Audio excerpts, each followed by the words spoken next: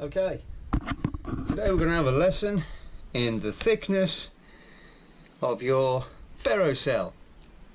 Now, this ferrocell is 3 mil glass, so we've got a depth of 6 mil altogether.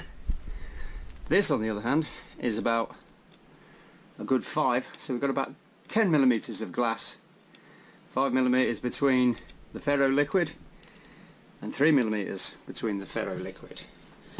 So, will that affect what we see? Alright. These are kind of old plates so I don't care. That is what you get when you have a 5 millimeter gap.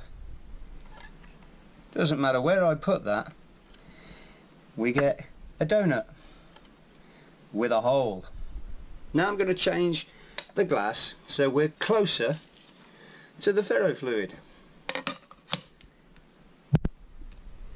3 mil glass. Now we all remember seeing a donut, right?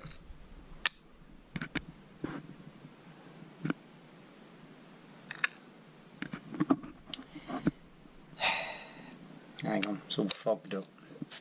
From the heat. This is what happens when you do 3 mil. Now it seems to have given us the same donut but not if I move it away and get rid of that mark. Now we do not have a donut. Now we have a closer view which means we get to see all that instead. So understand the thickness of your glass will change what you see. So let's just get a double comparison here.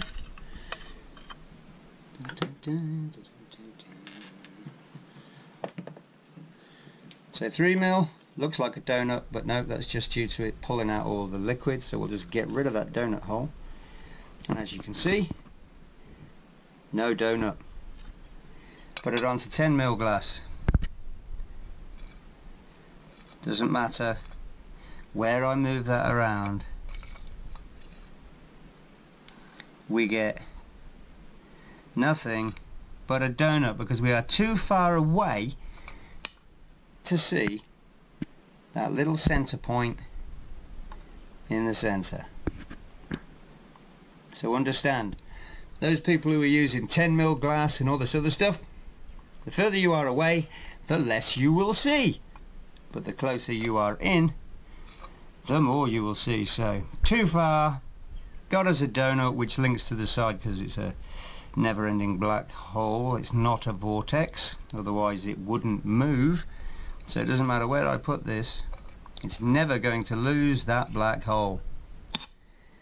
But this, on the other hand, being 2 mil closer, gives me no hole. So gain understanding in ferrocells. Further you are away, the less you will see which is why I move all mine around. Thanks very much. My name is Lee. I'll follow the Christ, and this is a teaching video. Thanks a lot. Bye.